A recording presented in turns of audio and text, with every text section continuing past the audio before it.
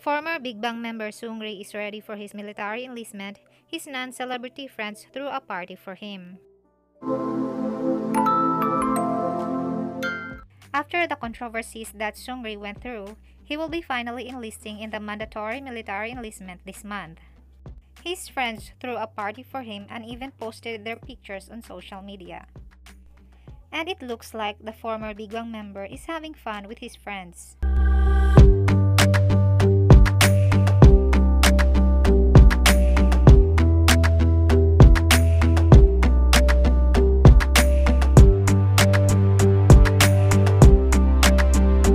18 refers to the period of Seungri's military service of 18 months. Seungri's cases will be forwarded to the military court while he is in the military service.